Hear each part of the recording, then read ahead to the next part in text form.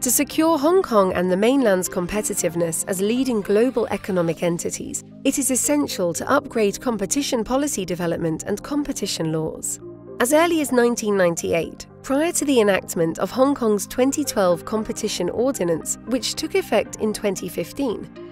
Lingnan University economic researcher Professor Lin Ping, who was later joined by Professor Zhang Tianle and Professor Adam Wong Chi Leung, produced extensive research that influenced competition policy development in terms of both policy debate and design.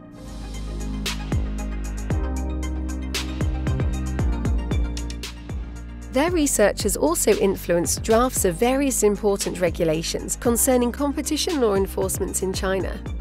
and enforcing China's 2018 anti monopoly law and merger control regulations in China, which have been used by the Competition Agency to assess over 3,000 merger notifications. It has also been used to directly assist the Competition Law Enforcement Agency in high profile cases.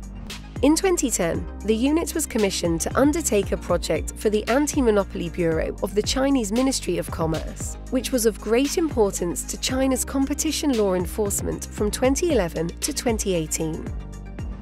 The professors studied state of the art antitrust laws in economics and merger control best practices in the major developed economies, reviewed merger guidelines in the United States, the UK, and Australia, and made recommendations for merger control policy in China. Their second report proposed merger guidelines as the basis for China's anti monopoly authority's interim regulation on assessing the competition impacts of concentrations among undertakings in 2011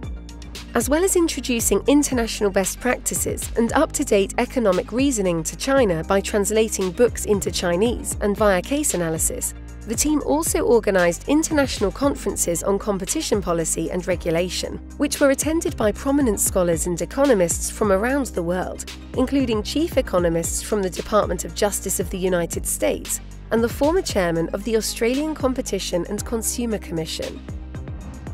The team and their research have helped Chinese officials to officially investigate alleged violations of anti monopoly law.